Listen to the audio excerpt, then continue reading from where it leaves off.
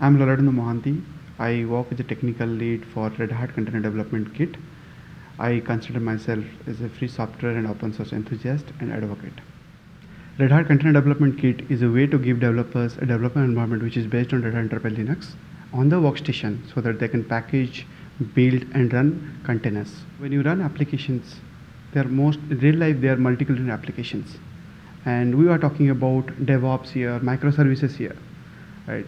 So you need a development environment where you can actually deploy microservices on your workstation and also it actually fits into the DevOps uh, ecosystem, DevOps concepts where your developer environment is almost similar to a production environment. The most important feature of uh, CDK is you can actually set up OpenShift, which is a PaaS offering from Red Hat. It's actually a platform as a service. It can also act as a container as a service, and it's uh, it actually supports uh, private cloud, public cloud, basically hybrid cloud. But with CDK, you can set up OpenShift just with one command on your workstation, and can, then you can, you can use it for your application development.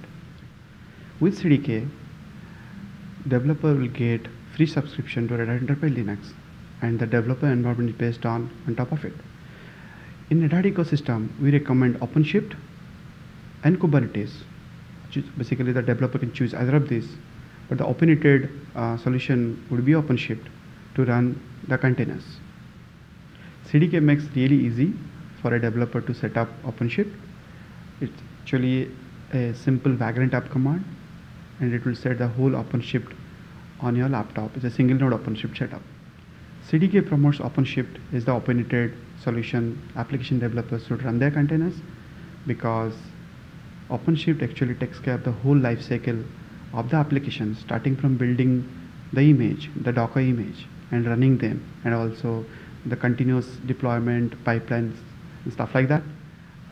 CDK say makes more sense to enterprise application developers where application developers want to focus their effort on developing just the application and let the um, tool takes care of building the application, running the application on a supported enterprise platform. If you're an application developer and you are using Microsoft Windows and OS X as your workstation, you cannot run Linux containers on top of it because it's not supported. So how do you get almost native experience on your platform, whatever you are using? And that can be done through CDK.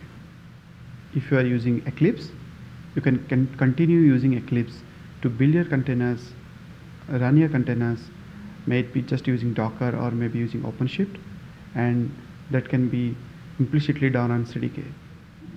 If you are a developer using Microsoft Windows, the best way to get CDK is you should use Developer Suite, which is an installer for CDK, and it will install all the required components on your workstation, and you can just start working with it.